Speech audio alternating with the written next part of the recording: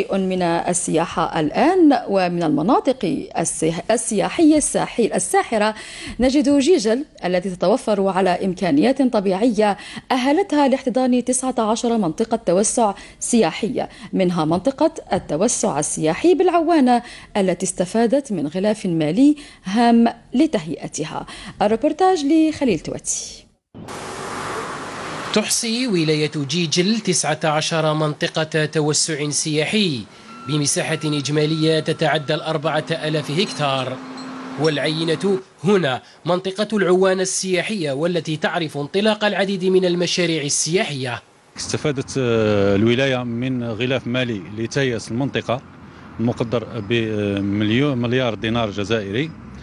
آه، الآن كذلك آه، تم منح عشر آه، حصص داخل منطقة التوسع السياحي لإنجاز مشاريع آه، بها هذه المشاريع تتمثل في آه، أربع فنادق بنجمتين فندق أربعة نجوم وكذلك 55 مقصورة سياحية و 12 14 فيلا سياحية وكذلك مشروع ب 17 فيلا سياحية أي بمعنى إقامة سياحية. الأشغال بدأنا الآن مع كما يقولوا la délimitation du terrain و nettoyage de la terre végétale et l'implantation des villas هذا ومن المقرر إنجاز 44 مشروعا سياحيا بولاية جيجل.